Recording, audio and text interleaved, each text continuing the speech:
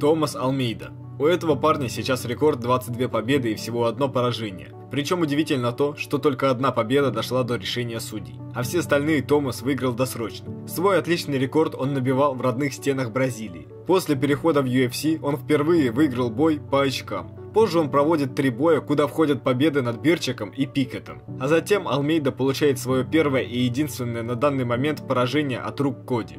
Яир Родригес. Сейчас этот парень выглядит многообещающе. В UFC он уже провел 6 боев и во всех выиграл, а в последнем поединке он победил Биджей Пена. Единственное поражение Яир получил во время своего третьего профессионального боя в родных стенах Мексики. Тогда Родригес был отправлен в нокаут за полторы минуты. Каролина Ковалькевич. Еще в том году у Каролины был рекорд без поражений, но бой за титул против чемпионки Йоанны оставил в ее графе первое поражение. Возможно, в будущем Ковалькевич еще сможет побороться за титул. Йоэль Ромеро. У этого отличного бойца в рекорде также есть лишь одно поражение. Он проиграл на турнире Strikeforce Рафаэлю Кавальканте. Несмотря на то, что на тот момент Ромеро был уже всемирно известным борцом олимпийского уровня, его ударная техника все еще была не на высоком уровне. Рафаэль проводил тогда уже свой 14-й бой, а Йоэль лишь шестой. После атаки ногой Кавальканте пробил бэкфист, который кубинец просто не заметил и уже просто не смог защищать себя.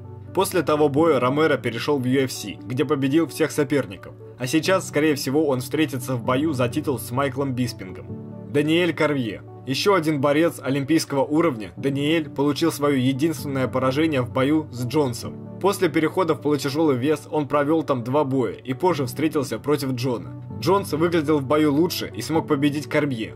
После этого Джонса лишили титула из-за проблем с законом, а Даниэль смог стать чемпионом и защитить титул. Джон Джонс. У этого бойца есть в карьере, наверное, одно из самых спорных поражений в UFC. В бою с Хэмиллом Джонс доминировал, а после того, как он стал избивать соперника, он нанес запрещенные удары локтями, после чего его дисквалифицировали, и он проиграл бой. Несмотря на то, что его так никто и не смог победить, но единственное поражение дисквалификации все же есть в его карьере.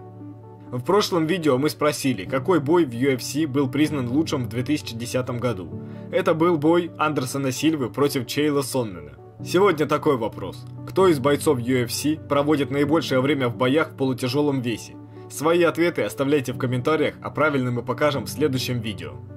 Также вы можете написать в комментариях, какую тему нам стоило бы осветить.